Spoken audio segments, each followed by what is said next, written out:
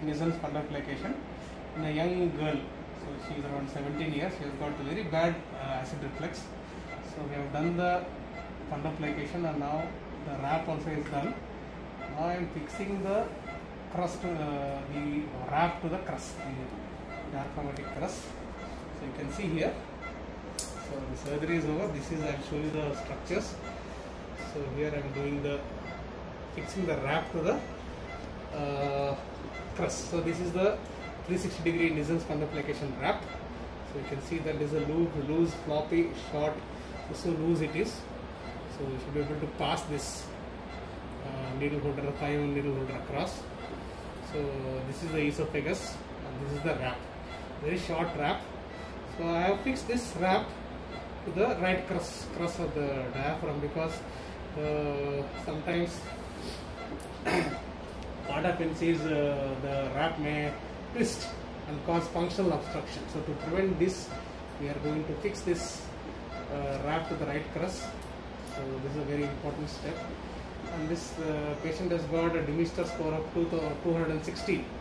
So very significant acid reflux. So this wrap is being fixed to the uh, um, right crus. So almost the application is done. The liver. The liver is being retracted and this is the fundoplication.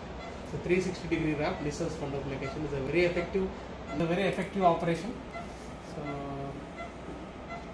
if you have very bad reflex, bad poor quality of life, severe regurgitation of food, ulcers in the uh, esophagus, uh, Barrett's esophagus. So all these things are very good indications, especially volume reflex and bad esophagitis with stricture, multiple erosions, poor quality of life. So all these things are very good indications to do a acid reflux procedure, that is a anti-reflux procedure. Okay, it's done by laparoscopic method. You can see this. So this is a laparoscopic surgery. There is no cut. So we don't make any cut. Very small cuts. This is done by laparoscopy, and uh, the recovery also is very fast. So you can see this is a keyhole surgery. You can see how we are doing here. You can see which. So this is a camera port and all 5 millimeter ports. 5 ports. All of them are 5 millimeters.